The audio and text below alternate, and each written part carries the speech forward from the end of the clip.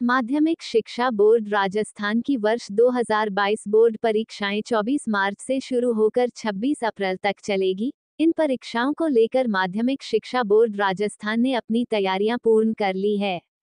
प्रत्येक परीक्षा केंद्र पर सुरक्षा के इंतज़ाम करते हुए प्रश्न पत्रों की सुरक्षा को लेकर भी व्यापक इंतज़ाम किए गए हैं। माध्यमिक शिक्षा बोर्ड राजस्थान के प्रशासक लक्ष्मी नारायण मंत्री और सचिव मेघना चौधरी ने बोर्ड परिसर में प्रेस वार्ता की। इस दौरान उन्होंने बताया कि कोविड 19 महामारी के दो साल बाद बोर्ड परीक्षा आयोजित हो रही है। इसे लेकर छह परीक्षा केंद्र बनाए गए हैं, जहाँ दसवीं और बारहवीं की परीक्षा के लिए बीस लाख अठारह हज़ार चार सौ चालीस परीक्षार्थी पंजीकृत किए गए हैं। 24 मार्च गुरुवार को पहले दिन मनोविज्ञान विषय की परीक्षा आयोजित होगी।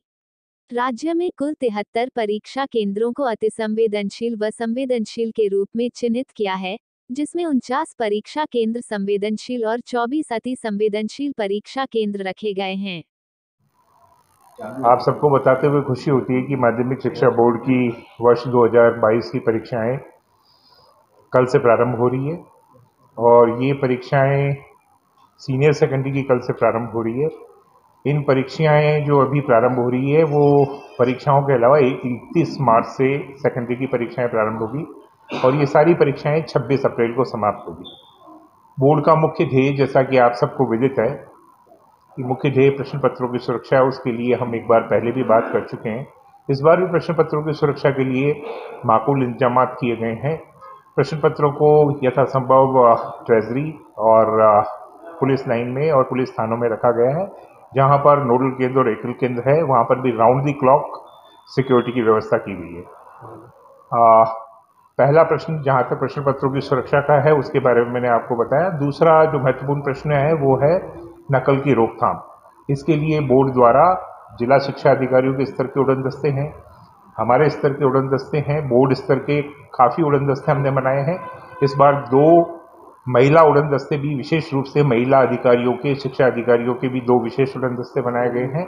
और हम प्रयास ये करेंगे कि नकल पर किसी भी प्रकार की कोई आ, होने पर सख्त से सख्त कार्रवाई हो। और आपको ये भी बताना ज़रूरी समझूँगा मैं कि जो 11 संवेदनशील ज़िले हैं उनके अंदर प्रश्न पत्र थाने से या ट्रेजरी से जहाँ से ले जाने तक प्रश्न पत्र वितरण तक की वीडियोग्राफी होगी। इसी तरीके से जो संवेदनशील, अति संवेदनशील केंद्र है, उन पर सीसीटीवी से भी करीब करीब 400 से ऊपर सीसीटीवी केंद्र लगाए गए हैं। सीसीटीवी कैमरास लगाए गए हैं, जिनका यहाँ पर ऑनलाइन मॉनिटरिंग की जाएगी और उसके लिए हॉल में व्यापक व्यवस्था की गई है। मुझे पूरा विश्वास है कि जिस तरह की बोर्ड ने प्रश्न पत्रों की सुरक्षा को लेकर, नकल की रोकथाम को लेकर, केंद्रों की व्यवस्था को लेकर, बच्चों को ऑनलाइन प्रवेश पत्र डाउनलोड करने को लेकर सभी प्रकार की व्यवस्थाओं को लेकर पूर्ण प्रयास किया गया है कि परीक्षाएँ शुचितापूर्वक संपन्न हो और बोर्ड की जो मर्यादा और गरिमा है उसे हम आ, उतने ही मर्यादित रूप से संपादित करवा सकें। Thank you so much